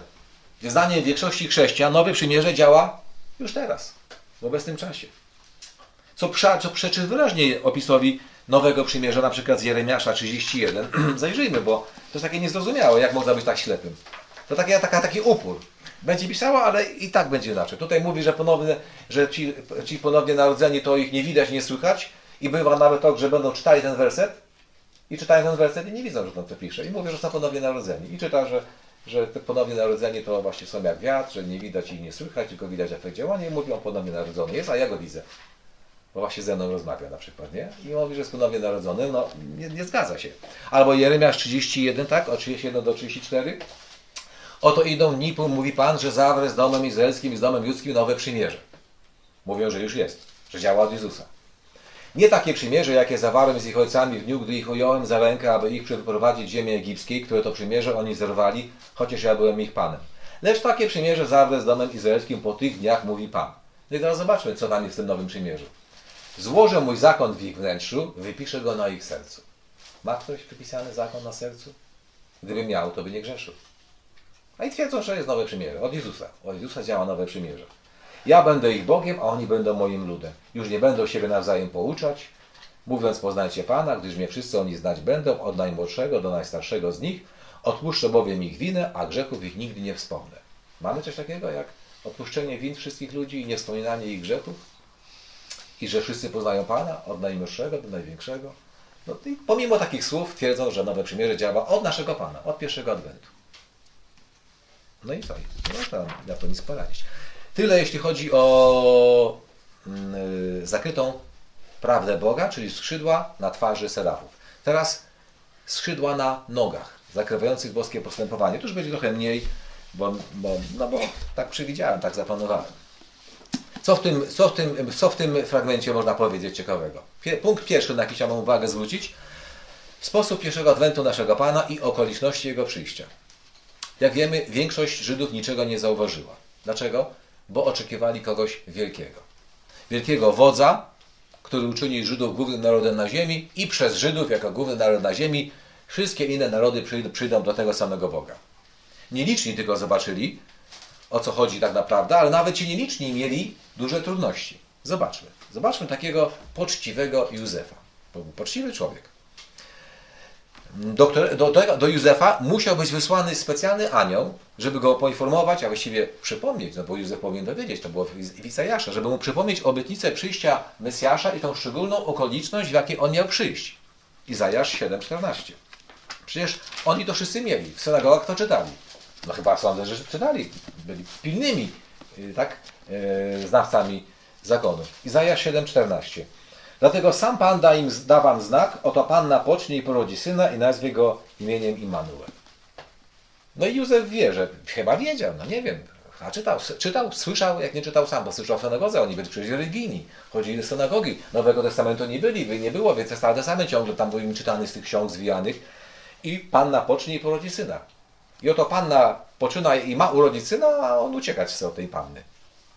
No to, o, to tam u Izajasza było o czym, może to to, może to nie, to nie. Na tyle był dobry, że nie chciał jej, że tak powiem, podda, wydać na śmierć, żeby go zdradziła, ale jego myśl była, no zdradziła mnie i żebym, no nie będę dochodził jej śmierci za to, że mnie zdradziła, no bo mógł to, mógł to zrobić, ucieknę, zostawię ją z tym bękartem, którego urodzi nie wiadomo z kim i niech on sobie żyje jak chce, niech tam sobie robi co chce. Na tyle był dobry, że nie, nie, nie żądał jej śmierci, ukamienowania. No ale dlaczego nie? Anioł był potrzebny, żeby mu przyjść i przypomnieć. Albo gorliwy Jan Chrzciciel, taka wielka postać, który pomimo tego, że rozumiał, że je, jego rola jest drugoplanowa, że jego musi ubywać, a Jezusa musi przybywać, jak to sam powiedział, prawda? On to wiedział o tym. A pomimo tego, że jego rola jest drugoplanowa, gdy został wtrącony do więzienia, to wysłał swoich uczniów z dziwnym pytaniem do naszego Pana. Tak, Mateusz 11, 2-6. Przeczytajmy. Mateusz, no wielki Jan Chrzciciel, zdawałoby się, można powiedzieć, o, o, o, olbrzym, ale postawiony w perspektywie śmierci własnej, jakby nie do końca rozumie, dlaczego to tak. Mateusz 11, 2-6. A Jan, usłyszawszy w więzieniu o czynach Chrystusa, wysłał uczniów swoich i kazał mu powiedzieć, czy Ty jesteś tym, który ma przyjść, czy też mamy czekać innego. A Jezus mówił, idźcie i oznajcie Janowi, co słyszycie i widzicie. Ślepi odzyskują wzrok, chromi chodzą, trędowaci zostają oczyszczeni, głusi słyszą, umali są wskrzeszani, a ubogim jest rozdawana jest Ewangelia. A błogosławiony jest ten, kto się mną nie zgorszy. Prawda? Czyli albo kto we mnie nie zwątpi. Tu tak na koniec nasz Pan powiedział, taką pewnego rodzaju taki nie, ala wymówka wobec Jana Chrzciciela. Błogosławiony ten, który się mną nie zgorszy, a to nie zgorszy można także przetłumaczyć, który nie zwątpi we mnie. Czyli nie pozwoli, aby zachwiała się jego wiara w wyniku warunków, jakich się znalazł. Bo dopóki Jan działał, to nawet chociaż, chociaż nie był, że tak powiem, nie wiem, główną postacią, no to miał wielu uczniów. Działał, tam miał swój specyficzny styl życia, gdzieś tam, no, tak, dziwnie się ubierał, dziwnie się odżywiał, był na pustkowiu, ale no, to było, mu to odpowiadało. Ale jak przyszli go, przyszła jego śmierć, perspektywa śmierci, no to pojawiły się takie myśli takiego wielkiego Jana. Więc dlatego nasz Pan powiedział, błogosławiony, który się ze mną nie zgorszy, albo który, kto nie zwątpi we mnie. No bo akurat Janowi takie doświadczenie przyszło. Więzienie i perspektywa bliskiej śmierci. Albo strofowanie Piotra przez naszego Pana za to, że nasz Pan wspominał o śmierci, prawda? Z Mateusza, też nie będę czytał, każdy wiemy, jak, jak został, był, był y, strofowany, że to nie przyjdzie na niego. Tak? Czy tak ma skończyć, innym słowy, czy tak ma skończyć Mesjasz, którego Bóg posłał? Zabiją go? To, to, to, to, to, to, to, to, tak ma to być koniec tej misji? Nawet ci, którzy wierzyli. Czyli zobaczmy, jak sposób pierwszego adwentu i okoliczności przyjścia naszego Pana, no i ten zakończenie tej pierwszej misji, prawda, śmiercią, jak na wszystkich. Jedyny tylko nasz Pan wiedział o co chodzi. Najlepsi, najwierniejsi wśród Jego apostołów padali, upadali. A teraz spójrzmy na sposób drugiego adwentu i okoliczności Jego przyjścia. Nasz Pan przyszedł po raz drugi. Ilu chrześcijan o tym wie? Ilu chrześcijan poznało naszego, przepraszam, nie chrześcijan, ilu Żydów zauważyło pierwszy adwent naszego Pana? Nieliczni. A nawet ci, którzy zauważyli, w godzinie śmierci naszego Pana mieli ogromne wątpliwości. I gdyby nie cudowne interwencje Boga, podejrzewam, że by upadli wszyscy co do jednego, 100%. Przyszli, przyszli członkowie Kościoła, mieli być niebawem spodzeni z ducha, wszyscy by padli 100%. Widać, działanie, widać, widać po działaniu Jezusa i Boga, żeby padli jak 100%. Że to było za dużo. Nie byli w stanie takiej wiary wykrzesać siebie, albo dać się tak, nie wiem, takie cierpienia przechodzić. Dlatego nasz Pan zostaje jako istota duchowa po zmartwychwstaniu z nimi. 11 razy im się sam objawia co chwilę w innym ciele, żeby dać im do zrozumienia, że jest teraz potężną istotą, która może sobie przejmować dowolne ciało, jakie chce i przechodzić przez mury, zamknięte drzwi i tak dalej. To wszystko po to, żeby ich wzmacniać, budować, ciągle tam pojawia się w różnych miejscach. Potem jeszcze dary Ducha Świętego dostają, żeby wzmocnić, bo bez tego wszystkiego w ogóle by nie ruszyło. Czyli jak to pokazuje niemoc człowieka, albo nie wiem, twardość grzechu, albo cokolwiek. No, bezmiar niedoskonałości. Żeby w ogóle to ruszyło, to musiała być cudo cuda. Cuda. Nawet, nawet dar Ducha Świętego, który otrzymali apostołowie, którymi, które używali, prawda? To może nie tyle było, nie było po to, żeby wzmocnić ich, że takie dary mają, tylko żeby ci słuchacze w ogóle chcieli słuchać, żeby zobaczyli, że ci języki znają, że potrafią leczyć i tak dalej. Więc wracamy, tak, drugi adwent naszego Pana. Y, większość drugiego adwentu nie zauważyła chrześcijan do dzisiaj. Tak jak Żydzi w większości nie poznali, no i już zabili tego, którego Bóg im posłał. Tak dzisiaj drugi adwent jest kto? Ilu chrześcijan procentowo wie, że nasz Pan jest obecny po raz drugi? Nie jest to nawet 1%.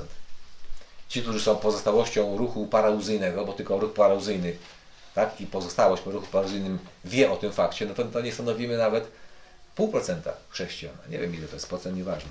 Jest to, jest to kropla w morzu, albo pół kropli w morzu, albo w jakim ogromnym oceanie.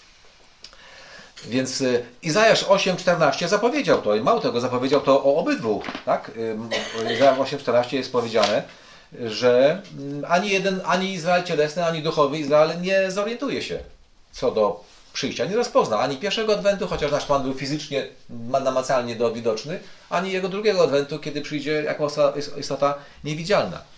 8,14 Izajasz. I będzie wam świętoś, świętością i kamieniem obrazy i skałą potknięcia dla obydwu domów Izraela, sidłem i siecią dla mieszkańców Jeruzalem. To obydwa domy Jeruzalema to nic innego jak cielesny i duchowy.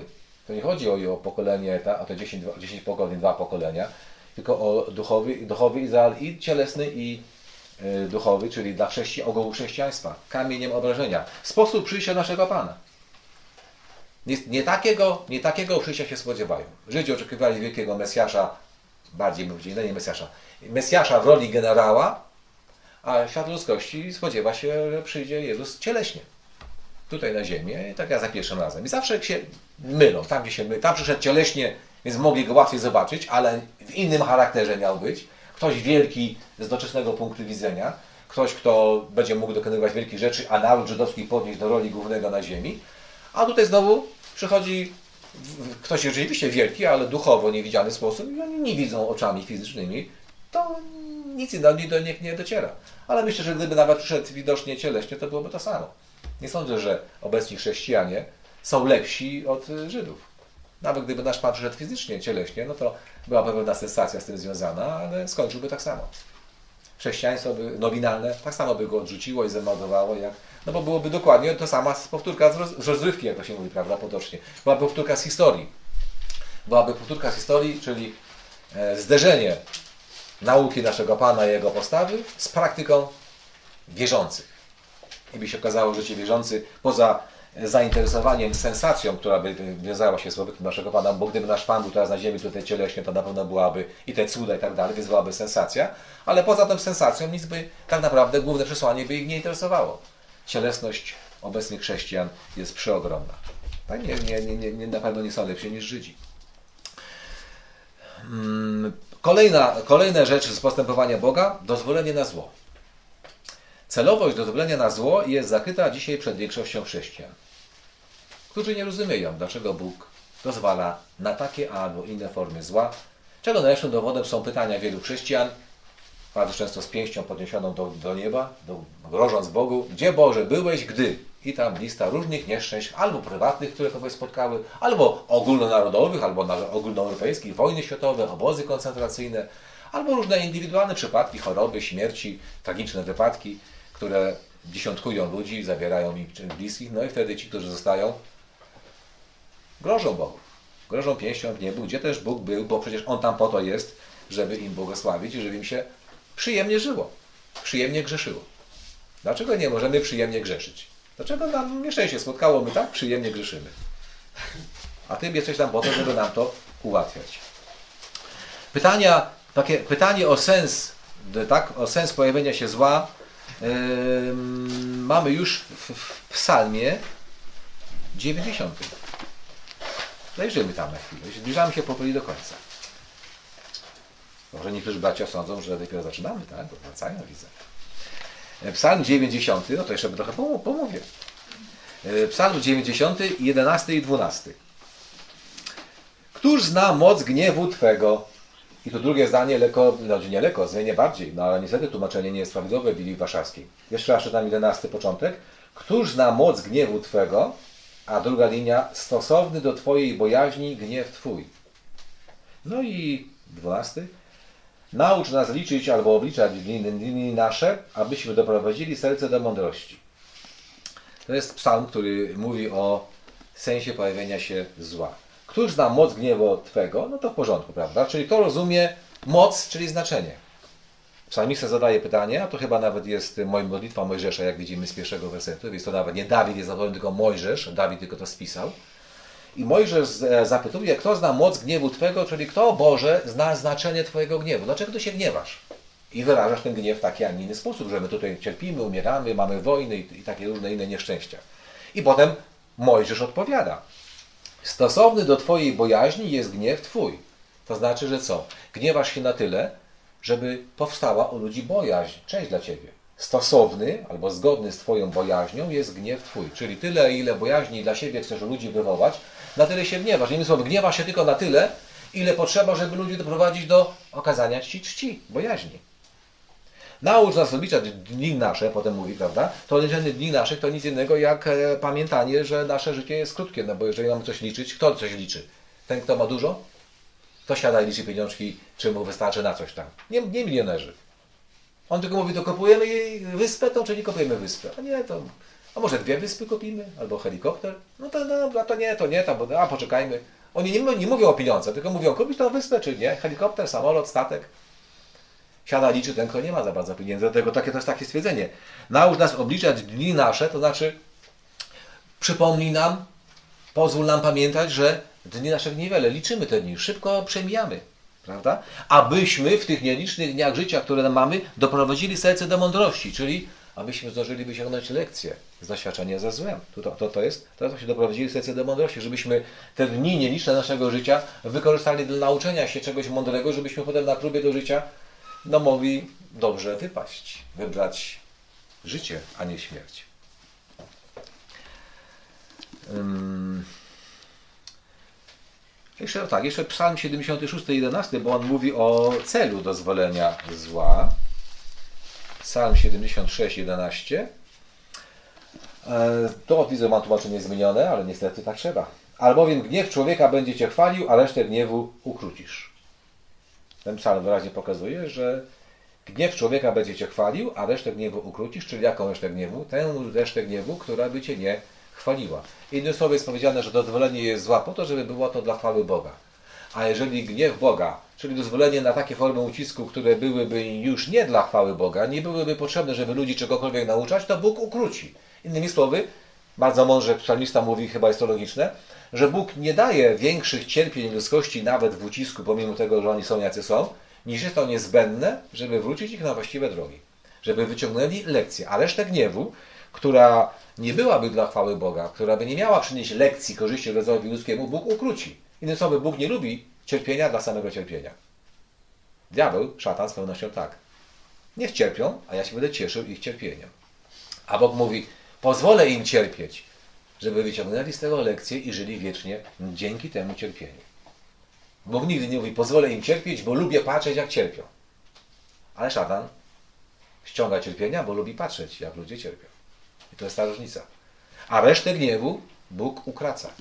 Gniewu, gniewu która nie byłaby dla Jego chwały. Czyli cierpienie, zło dla samego cierpienia zła. Nie ma czegoś takiego. Ani w życiu indywidualnym nas, ani ludzkości jako całości. Było powiedziane wyraźnie, że nawet gniew ludzki będzie Cię chwalił, a resztę gniewu, która by Cię nie chwaliła, która byłaby tylko gniewem dla samego gniewem, wylewaniu goryczy i popełnianiu zła dla samego zła, ukrócisz, nie pozwolisz na to. To bardzo dobrze wyjdzie w naszym Panu. Ktoś powie, czy nasz Pan nie mógł zginąć lżej niż zginął? No przecież wystarczyło go zabić gdzieś tam, na, jak on głosił. Zginąłby w ciągu może 5 sekund, gdyby miecz go przeszył w odpowiednie miejsce i, i by nie cierpiał. A tu widzimy. Tak, bo trzeba tak było. Bo to było potrzebne głównie dla naszego Pana, krystalizacja Jego charakteru. 13 ostatnich godzin naszego życia, czy te najgorsze Jego 13 godzin w całym Jego życiu, to krystalizacja charakteru Jego nowego stworzenia. No i teraz Bóg ma z jednej strony zlitować się, że tak powiem, nad cierpieniem Jezusa jako człowieka, żeby mu tych 13 godzin cierpienia zaoszczędzić, żeby Jego śmierć szła szybciej, inaczej, czy skrystalizować Jego nowe stworzenie do boskiej natury. No i jaki wybór? No, dałby, da, pozwolił mu cierpieć, żeby skrystalizować jego nowe stworzenie do boskiej natury. Co z tego, żeby mu 13 godzin tych życia e, skrócił, prawda, i nie, nie przeszedłby przez to, że, a, że a na krzyżu e, tak, jego krew zamieniała się w wodę, bo po przybiciu, prawda, woda wypłynęła, czyli wskazało, że no, cierpienia krańcowe, takie jakie człowiek nie może w ogóle wytrzymać, ale on w doskonałym ciele był, to mógł to wytrzymać, że woda zaczęła się zamieniać w krew, odwrotnie, krew zaczęła się zamieniać w wodę, ale te cierpienia były potrzebne dla krystalizacji, krystalizacji jego charakteru nowego stworzenia. Ale już po jego śmierci, kiedy go chcieli do Gehenny wrzucić, to Bóg nie pozwolił, bo po śmierci naszego Pana jego nowe stworzenie nie skorzystałoby, gdyby się pastwili Żydzi czy tam kapłani, czy ktokolwiek nad jego ciałem. Żeby go tak poniewierali, palili w gehennie, się śmiali, o tak, zobaczcie, tam pali, czy ten, co tak chodził, tutaj by tam zbiegowisko zrobili i jeszcze by się... Ale gdy żył, nawet w ostatnich właśnie tych godzinach, to pozwolił szydzić z niego, bić go. To były potrzeby, ale po śmierci nie pozwolił go, dać go nawet martwym ciałem, jako ludzki, kiedy on już by nawet nie cierpiał, ale nie pozwolił. To byłoby nie, nie, nie byłby to gniew ludzki, który by chwalił Boga. Co by z tego ktoś miał? Tylko by ci, którzy są na, na, na poziomie prawie, że nie, pół zwierząt, by się tylko dali wyraz swoim, yy, swojej niedoskonałości.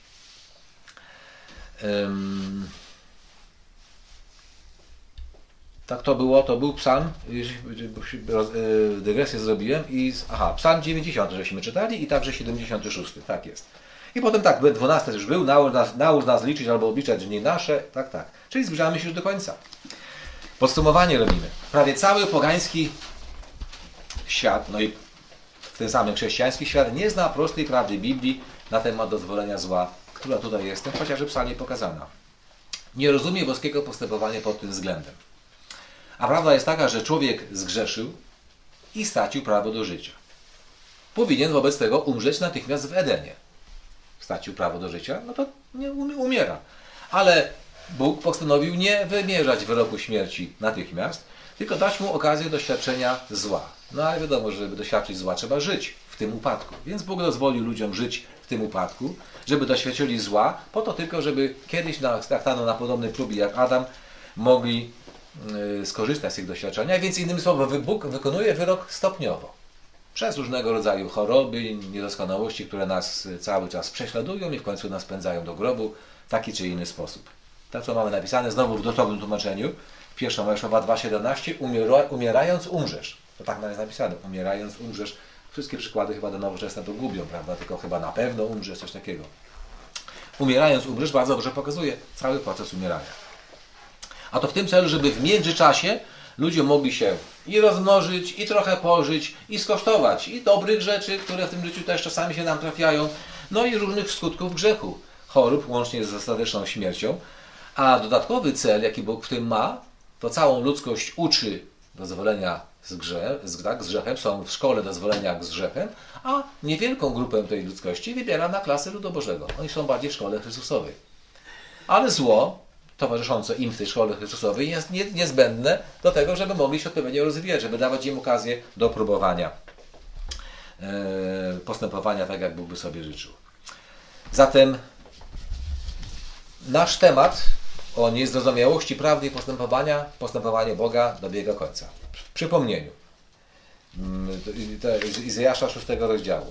Bardzo mamy, bardzo pięknie pokazane w tych serafach, tak, które latały, miały sześć skrzydeł, dwoma skrzydłami zasłaniały swoją twarz, czyli boska prawda zasłonięta, wyrażona w Nowym Starym Testamencie, bo dwa skrzydła to Stary Nowy Testament, zasłonięta, boskie postępowanie, dlaczego on robi tak, a nie inaczej, zasłonięte, czyli jego nogi, kolejne para skrzydeł i dwa skrzydła, które były, e, którymi latał, to, to skrzydła, które pokazują działanie boskiego, realizację boskiego planu, kiedy przyjdzie właściwy czas. I wtedy to latanie jest widoczne dla jego wiernych dzieci. Pozostali nie widzą tego latania, pozostali w dalszym ciągu patrzą na twarz zakrytą skrzydłami, patrzą na boskie nogi zakryte skrzydłami i nic nie rozumieją, dlatego bardzo często są chłodni wobec Boga, stają się niewierzący, niektórzy w pełni ateistami się stają, innymi takimi, inni tylko nominalnymi chrześcijanami, tak jak widzimy w przekrój takiego chrześcijaństwa. I, i, i te, to, co dzisiaj chciałem przy, przypomnieć, to właśnie pokazać zakrytą prawdę Boga przez te skrzydła, przez te skrzydła które za, za, za, zasłaniały twarz, jak również zasłonięte nogi Boga, czyli boskie postępowanie, które jest niezrozumiałe do dzisiaj. Większość chrześcijaństwa do dzisiaj nie rozumie. Dlatego chrześcijanie praktycznie nimi nie są. Są, stoją, w, w, używając obrazu przybytku, dzisiejsze chrześcijaństwo, które tak się nazywa, jest co prawda jeszcze w obozie, w którym była cały wiek Ewangelii, ale w tym obozie są spychani na jego tyły żeby z chwilą zawarcia nowego przymierza być wypchani poza obóz, bo tak naprawdę to są ludzie niewierzący.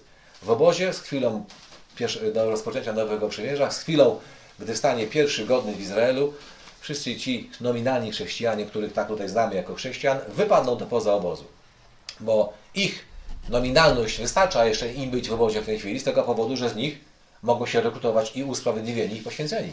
Poświęceni obozowcy Epifanii są też w obozie i ci, którzy są w obozie nominalnymi chrześcijanami, gdyby doszli do usprawiedliwienia i poświęcenia, mogą stać się albo tylko tymczasowo usprawiedliwionymi, albo nawet poświęconymi z klasy poświęconych obozowców Epifanii. Dlatego Bóg ich trzyma jeszcze w obozie, ale już te procesy spychania ich na tyły obozu w, w celu przygotowania do ich wyrzucenia do poza obozu z dniem tak, inauguracji Nowego Przymierza, gdy godnie stanął w Izraelu, są czynione i to widać w tym, dlatego widzimy, że to nomi- nominalne chrześcijaństwo jest coraz gorsze. Bo ono, pomimo tego, że wciąż jest w obozie, to już nie jest w obozie tuż przy przybytku, jak było w wieku Ewangelii. Gdy nie było klas poświęconych kiedyś yy, w ogóle w obozie, czyli do roku 54, to nominalnie chrześcijanie stali, no stali w różnych miejscach, ale stali także tuż wokół przybytku. A gdy się pojawiła klasa pierwsza poświęcona w obozie, to ona zajęła miejsce przy przybytku, a te wszystkie klasy i tymczasowo usprawiedliwieni poszły na tył, a nawet ci, którzy nie są tymczasowo usprawiedliwieni, nie są tymi quasi, poszli jeszcze bardziej na tył. I oni są już tak daleko od obozu, że dla nich ten obóz taki tam punkcik, jak Żyd, który tam gdzieś obozował na samym końcu jakiegoś pokolenia, a szczególnie, jak był od tyłu, prawda, bo nie wiemy wszystkie cztery przypadki, więc jak ktoś był od tyłu i w tym ostatnim obozie i w tym, y, w tym ostatnim pokoleniu, tam w ostatnim rzędzie stał, to co on widział z przybytku? Jakiś taki punkcik malutki. Punkcik na mapie. A tak naprawdę to żył jak poganie. Praktycznie, prawda? Czyli jego kontakt z obozem był. I oni tak, i to właśnie ten proces w tej chwili przebiega, dlatego jest tak jak jest. Niech Pan te myśli pobłogosławi dla korzyści na wszystkich. Dziękuję za uwagę.